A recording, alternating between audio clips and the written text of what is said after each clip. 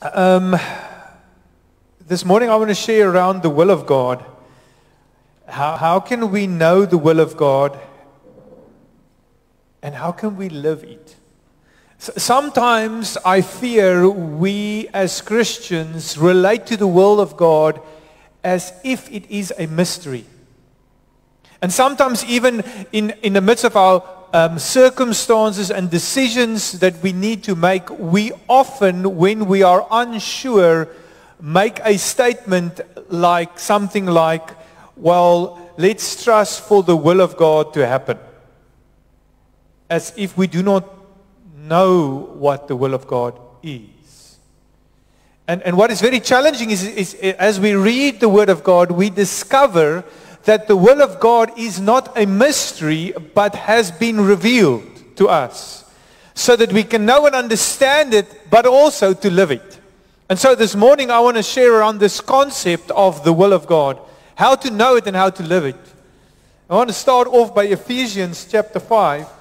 It says the following, You were once darkness, but now you are the light of the Lord. Live as children of the light.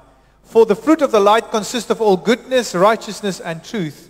And find out what pleases the Lord.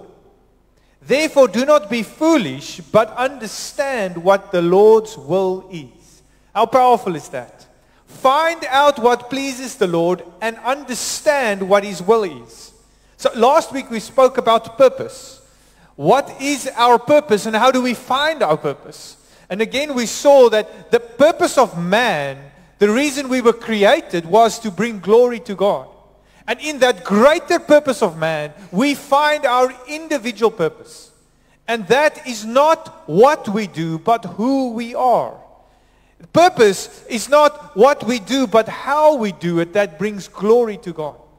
And so too, the will of God is a universal will, but we find our individual will within that universal will. Once we understand what is God's will for us universally, within that understanding, we start to grasp what's God's will for us as individuals.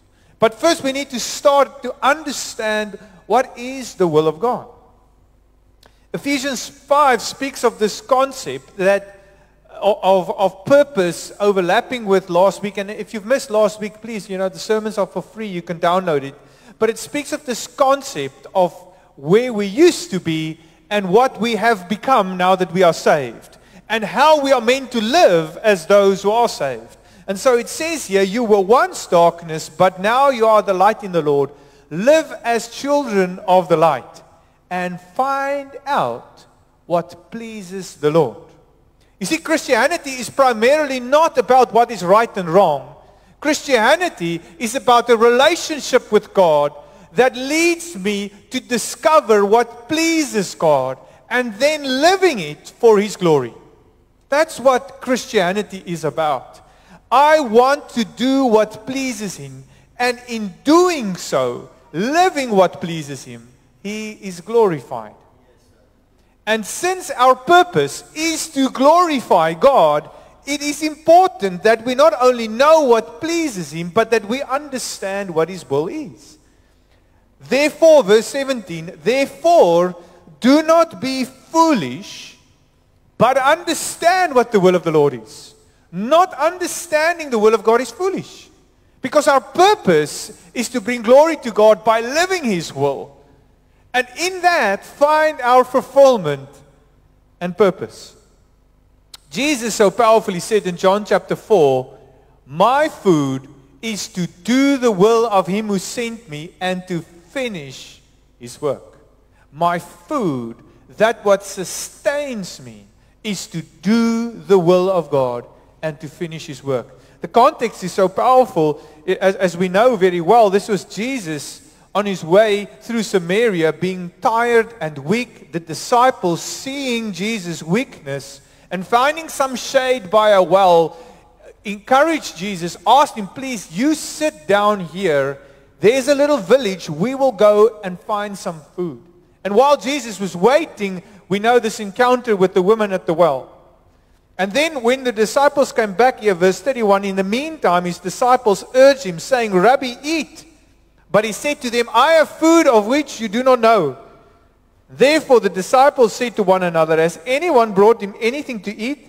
And Jesus said to them, My food is to do the will of him who sent me and to finish his work. That what sustains me is to do the will of God. Therefore, we need to understand what is the will of God and do it. And in doing so, we ourselves will be sustained. Jesus teaches us to pray in Matthew 6, the Lord's Prayer. We know it so well. Our Father in heaven, hallowed be your name. Your kingdom come. Your will be done on earth as it is in heaven. We need to ask God for his will to be done. Therefore, we must understand what this will is that we're asking for. But sometimes we live as if the will of God is a mystery, as if we do not know what it is, hard to find and understand. Yet Ephesians 5 verse 17 says, Therefore do not be foolish, but understand what the will of God is. Because we are meant to do the will of God, not understanding it will be foolish. And so Colossians 1 verse 9 says the following, For this reason we also, since the day we heard it, the day of your salvation, do not cease to pray for you and ask that you may be filled with the knowledge of, the, of his will in all wisdom and spiritual understanding, that you may walk worthy of the Lord, fully pleasing him, being fruitful in every good work and increasing in the knowledge of God. So we are not only to understand the will of God, we are meant to walk in it, fully pleasing God. And so we know Romans 12 verse 1 to 2 says the following, I appeal to you therefore, brothers, by the mercies of God, that you present your bodies as a living sacrifice, holy and acceptable to God, which is your spiritual worship. And do not be conformed to this world, but be transformed by the renewing of your mind, that by testing you may discern what the will of God is, what is the good, acceptable, and perfect. So again we see that by presenting ourselves as living sacrifices, renewing our minds, it is indeed possible to come to this place of discerning what the will of God is. What is the good, acceptable, and perfect will of God? So the will of God is no longer a mystery, but an understanding and knowing and being fruitful in it. Again, the will of God is universal for, our, for all of us, and it is within that universal will that we find his individual will for us. But it is so important to understand that the will of God is not a mystery. As a matter of fact, from the beginning to the end of the Bible, we are exposed to the will of God. It's clearly revealed to us. That what pleases him and that what is unpleasing to God. But you know what? The modern theology has become so self-focused. It's all about the individual. My purpose, my calling, my destiny. And so we read in Mark 11 verse 24, Therefore I say to you, whatever things you ask when you pray, believe that you have received them and you will have them. But because we are so self-focused, the things that we ask God for is all the things that we want. All the things that is necessary for our pleasure. And then not only do we ask God only for what we want, we even counsel God how we should do it. God, I'm struggling with this and I'm facing this. And, and not only am I asking you to help you, I want you to do the following things so that I can be fulfilled. And therefore we read in James chapter 4, you ask and you do not receive. Because you ask amiss that you may spend it on your pleasures. So clearly what Jesus was speaking about, to ask and whatever we ask we will receive, is not literally meaning that whatever I ask, I will receive. Because James make it very clear, you ask, you do not receive because you want to spend it on your leisure. So what did Jesus mean when he said, we must ask and we will receive? And 1 John 5 clarifies that for us. He says, and this is the confidence that we have towards him. That if we ask anything according to his will, he hears us. And we know that if he hears us in whatever we ask, we know that that what we have requested that we have from him. So, so, so it's not just whatever I want, but is when I ask according to his will, not my will, but his will that he hears and that I receive. Therefore, it is necessary to know and to understand what the will of God is and to seek that first. We need to realize that we can indeed understand and know the will of God. So where do we start? Where do we start to understand and know the will of God? To, to discover what pleases the Lord and living that. So where do we start? Well, I'll give you a clue. It's not the Bible. Even though the Bible from the beginning of end makes it very clear what is the will of God and what are the things that pleases him. This is not where this process starts. The process of understanding the will of God starts in our hearts. It starts here, our desire to know because we love him. Not because we have to, but because we love Him. Because we realize what He has given us, this great salvation, and who we become in Christ, and this amazing inheritance, this promise that we have of eternal life with Him, being a co-heir with Christ. Because of this great love for me and my acceptance of it and my understanding of this, this undeserved grace, I want to know who you are and what pleases you to do that because I love you. Because I want to do what you want. But the question is, do we really want to know? Do we really want to understand the will of God? Do we really want to know what pleases Him?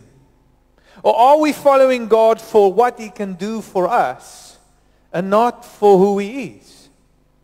Like the, like the Israelites in, in, in John chapter 6 where Jesus multiplied the, the two fish and the five loaves and, and he fed 5,000. And when, and when the people saw that, they were so excited they wanted to make Jesus king by force. And Jesus, seeing that, left them and gone up to the mountains and in the middle of the night walked across the water to get into the boat to get to the other side. And those people so zealous for Jesus for what he has done for them, looking to make him king, searching all over, couldn't find him. And finally, when they got to the other side, their first question was, Jesus, how did you get here? And Jesus' response is, Most assuredly I tell to you, you did not come to me because of the sign of who I am. You came to me because you ate of the bread and are full. You come looking for me, not for who I am, but for what I can do for you. And I say to you, unless you eat my flesh and drink my blood, you have no part of me. And he offended them all. Because they were looking, they were following him for what he could do for them and not for who he is. And so the mystery of the will of God is not a mystery for those who follow God for who he is. It's because I love you that I want to know. And so it starts in my heart. And then to the word, to read it, to understand it, to know it, because I want to know, I want to understand. And it's from that place where God brings revelation. And understanding, it's not even revelation, it is so plain in the word. But the question is, do we really want to? Because it's not about what is right and what is wrong. It's about what pleases the Lord. That's what Christianity is about. Motivated not by obligation, but out of a love for God. You know, I've got two daughters, Janine and Danielle. The one is 11 and the other one is 13, and they're beautiful girls. And I love them very much. And they know one of the things that I don't like is a nose ring. Yeah? I, I don't like it. It's not a sin. It's not wrong. I don't judge anybody that has one. I just don't like it. And they know it. They know I don't like it. And, and while they're still young and they're living in my house, they cannot do whatever they want. But one day when they are 18, they will have more freedom to do whatever they please. But let's imagine Danielle decides to study from home and still lives in my home, in my house. Full knowing that her father doesn't like the nose ring. But now she has a choice. And so she decides, full knowing that I don't like it. It's not a sin. It's not against the law. She has a choice. But full knowing that I don't like it, she gets a nose ring. Is she doing it for me? Or is she doing it for herself? What does it say about her love for me? You know, and sometimes as Christians we do the same. We try to find all the loopholes between what is right and what is wrong. What are the gray areas? How can I circumvent what is clearly said? But it's not about what's right and what is wrong. It's beyond that. It's far more than that. It's about what pleases the Lord. You see, if it's only about what is right and wrong, I'm only going to do the minimum. But if it is about what pleases Him, I'm going to do over and above what is right and wrong. Because I want to do what is pleasing to you. Not just what is the minimum. A religion is about the minimum requirement. But the relationship with God is what pleases you. And from that place, motivated by love, because I love you, I want to do the things that pleases you. My daughters know that I do not want them to marry an unbeliever. They know that. Often I tell them, there's one thing, my girls, you must know I'm going to be part of the process of choosing your husband. Make peace with that. You can only marry when you're 30. no, not really. But they know, they know that I'm not going to give my blessing to an unbelieving man. He can be as handsome, he can have a 12-pack, he can have a great job and good manners, but if he doesn't love the Lord, I will not give my blessing. They know that. Why do I say that? Is it because I'm old-fashioned and stuck up? No. I say that because I know that is the will of God. We read of it in 2 Corinthians 6. It says, and, and I want to tell you girls, if you're here and you're still unmarried, if you, if you meet this handsome, amazing guy that is not a Christian, and you want to ask God, is it your will that I marry him? I can tell you now it's God's will. No. It's not his will. It will not please him if you do. You will not go to hell. You will not lose your salvation. But it doesn't please him. And yes, we can find loopholes and justifications on, yes, but I know this couple who did that, and then the husband did get saved, and, and what an amazing testimony how they both serve and love the Lord. Yes, but does it please the Lord? Your choice. No. Why? Because he says so. It's not a mystery. It says, do not be unequally yoked with unbelievers. Or what fellowship has righteousness with lawlessness? Or what communion has light with darkness? Or what accord has Christ with Baal? Or what part has a believer with an unbeliever? Or what agreement has the temple of God with idols? For you are the temple of the living God, as he has said, powerfully, as he has said, I will dwell in them and walk among them. I will be their God, and they shall be my people. Therefore, because of this great and awesome promise, therefore, come out from among them and be separate, says the Lord. Do not touch what is unclean, and I will receive you, and I will be a father to you, and you shall be my sons and daughters, says the Lord Almighty. What an amazing promise! Even more so for us as Gentiles. You know, when we read the Old Testament and we read about Israel, we read as if we are Israel. We are not Israel. We are the Philistines.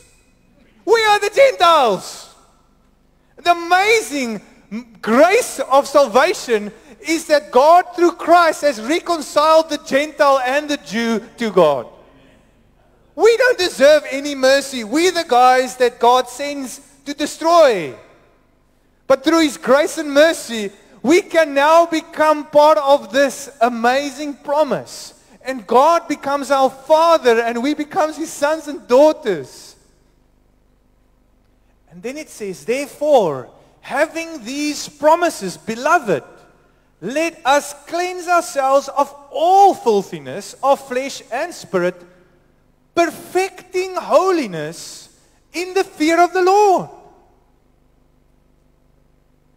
Because of these great promises, because of the love and mercy and grace of God, our response is to perfect holiness.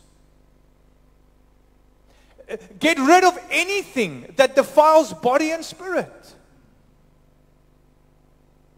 Not out of obligation, but because out of love and revelation. It's not just about what is right and wrong, about watching this show. Is it, is it acceptable? Is it not acceptable? You know, how much nakedness is in it? You know, is it a full boob, a half a boob? What is it? No, it's not about whether it's permissible or not. It's, does this please the Lord for me to be exposed to this? And the answer is no. So now let's try and find a loophole and a justification. Let's, because of our love for God, find out what pleases Him and do that. And, and let's, because we know what pleases the Lord is, is holiness, let us pursue not a pass rate. Not 51%. Oh, well, you, what is it now? 41%. Let's pursue 100 out of the love of God. Not because we have to, but because we want to, because we know that was pleasing the Lord. It's not about whether there's a loophole or a justification. No, it's not about right and wrong. It's about what pleases the Lord. So we live in a way So what is the will of the Lord? It's not a mystery.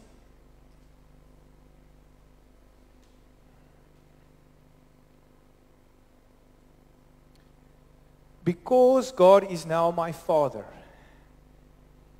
and I am now His Son, there is nothing more precious than that. My salvation, my acceptance, and my inheritance.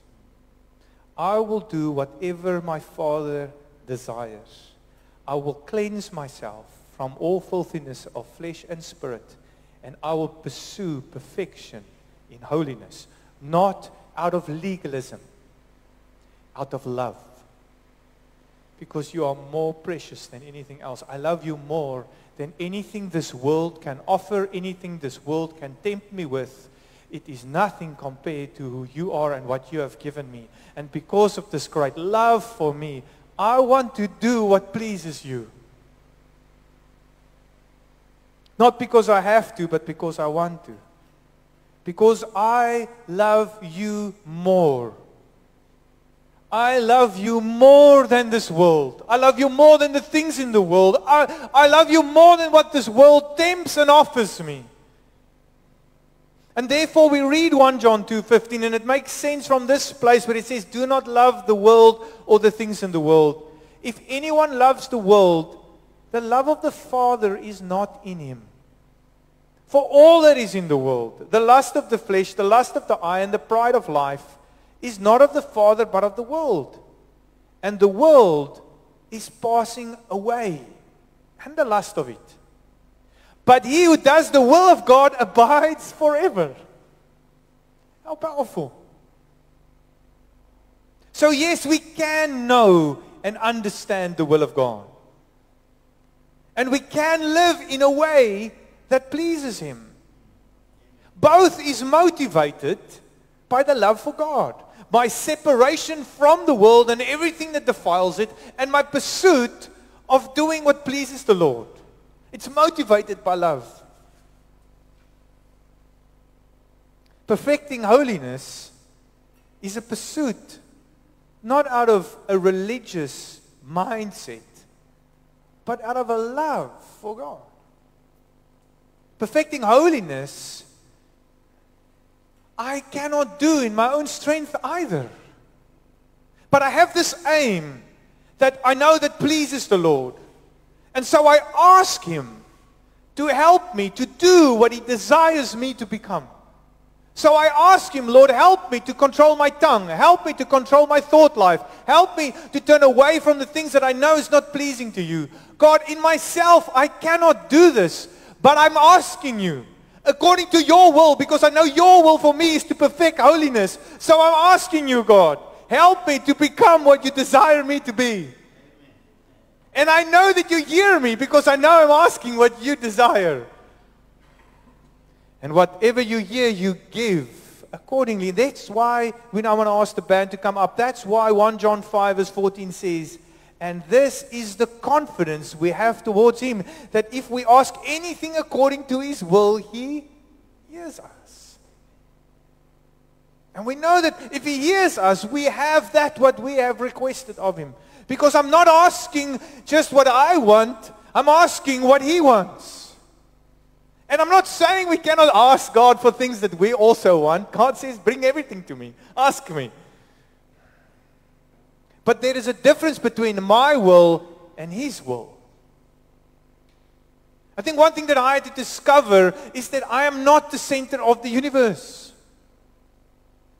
And Jesus didn't come to die for Andries. He didn't. He came to die for the church, of which I have the privilege to be part of. And he's not coming back for Andries either. He's coming back for the church. And I pray that I'm there when he returns. But the universe is not going to stop if Andries is not in the church. It's a privilege. It's amazing. I'm not worthy. I'm not worth anything. You can do everything you want without me. Yet you choose to use me. Yet you choose to save me. What a privilege. So I don't want to live for what I want. My life is gone. You saved me. And I belong to you. I, I, I want to serve you because of what you have given me. It's like Jesus in the garden when he said, Father, all things are possible for you. If it's possible, take this cup away from me. But nevertheless, not my will be done. Your will be done. For my food, what sustains me, it's not what I want, it's what you want. It's to do the will of Him who sent me and to finish His work. And as people, it's not a mystery. Ask Him to show you what pleases Him. Ask Him to give you understanding into His will. Ask Him to help you to do what you see and hear and ask Him to change you more and more into the image and likeness of His Son for His glory. Because we love God, we make this our pursuit to understand His will and to know what pleases Him, to ask Him to help us to live it to the full. So it's not about what's right and wrong. It's about what pleases the Lord. It's not about finding loopholes and justifications. It's about loving God and responding to his love. I want to know what pleases you and live that. I'm running out of time and I want to leave you with this question. What is the will of God? What is that what pleases him? I'm not going to give you the answer to those questions today. Because if you really love him, you don't need me to tell you that. You can go and discover it yourself. It's there. It's so open. It's, it's, we even have it in our own language. You don't need to try and figure out the Greek or the Hebrew there. And in finding it, you, you will find fulfillment. You will find meaning. When you start to live it, it will sustain your life. And you will have joy and peace that surpasses all understanding. Jesus says something powerful in Mark chapter 3. His mother and brothers were looking for him and he was ministering with people who were hungry, who were thirsty, who wanted to know the will of God. And the house was packed and they couldn't get in because there was just so many people hungry and thirsty for God. And so they sent somebody to call Jesus. And so we read his mother and brothers came standing outside and sent to him and called him. And the crowd was sitting around him and they said to him, Your mother and your brothers are outside seeking you. And he answered them, Who are my mother and my brothers? And looking at those who sat around him, he said, Here are my mother and my brothers. For whoever does the will of God, he is my brother and my sister and my mother. How powerful is that? Yes, you can know the will of God. And you can live it. And be in this place of intimacy with him. Let us pray together. Father, we thank you for your love for us. We thank you for sending your son, giving your son, sacrificing him to save us, to redeem us. We who were still enemies, dead in our trespasses, not a people, having no future, no inheritance. You redeemed us, God, called us to yourself, gave us your spirit and this promise of an inheritance for eternity. What a great God. What an awesome God. What an amazing, gracious, loving Father you are. Lord, I pray that you'll open our eyes to see. Grant us the spirit of revelation and understanding to know what is this, this hope of your calling, this, this riches of this inheritance and this exceeding greatness of your power within us. That it may become a treasure more valuable than anything in this world, what this world can offer. That we will be willing, Lord, to forsake everything to buy the land in which this treasure is, that this treasure may be ours. And it's not about money. It's about our hearts. It's not about the land. It's not about a physical treasure. It's about you. That you may become the most precious thing to us. And so, Lord, I pray that we may see, that we may understand it, that we may live it. I want to give you an opportunity just as you are seated that you just respond to God. Whatever the Lord has laid on your heart, whatever stood out for you in the sermon, just speak to the Lord yourself. Just speak to Him.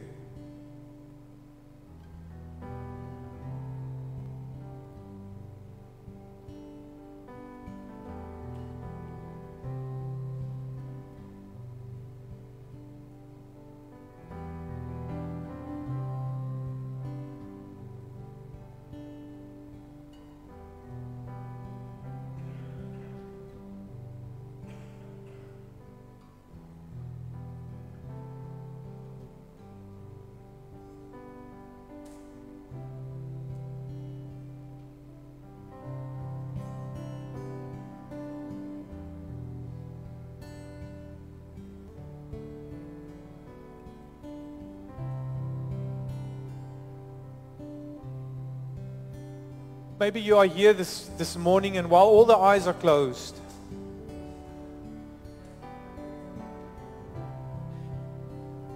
you know there are things in your life that is not pleasing to the Lord.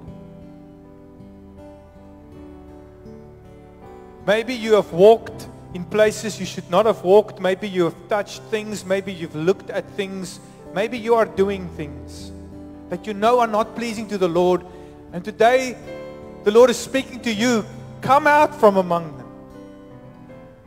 Do not touch what is unclean. But understand my will. Find out what is pleasing to me. If that is you and, and, and you just want to you just want to turn away, you want to repent from the things that you are trapped in. Maybe you have justified, maybe you found a loophole. But today you want to turn your heart to God and say, God, I want to pursue holiness. And turn away from everything that defiles body and spirit. If that is you, you want to repent, you want to have freedom from these things, just raise your hand just where you are. Just want to pray with you. Thank you for your hands. Thank you. You can just drop it, put it up, drop it again.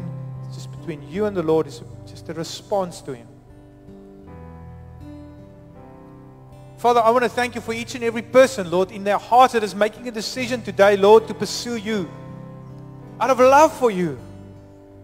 God, I pray that you will show them, reveal to them more of your love, but also an understanding of your will and what pleases you, God. And I pray, Holy Spirit, that you will set them free from the lies and the lure and, and the deception of this world. That you'll open their eyes to see its emptiness and see the fullness that you have. Lord, we come against any strongholds, any addictions, any patterns in Jesus' name. And we break that and we say, be free in Jesus' name free not to do what you want, but to do what He wants. And Lord, I pray for a passion and a zeal, Lord, to pursue holiness, to perfect it, so that you may be glorified. And God, I pray, Holy Spirit, that you will come in each and one of us, Lord, that you will fill us by your Spirit, that you will empower us, because we cannot do this in our own strength. But you can. What is impossible for man is possible for you. And so I ask God that you will empower us by the power of your Holy Spirit to become vessels of honor, living sacrifices, being transformed more and more into the image of your Son that you may be glorified.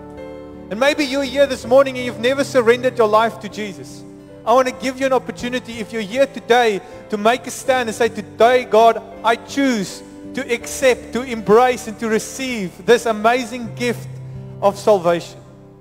And I want to give you my life and follow you and know this fullness that there's only in Christ. If that is you and you want to surrender your life, just raise your hand. Is there anybody here?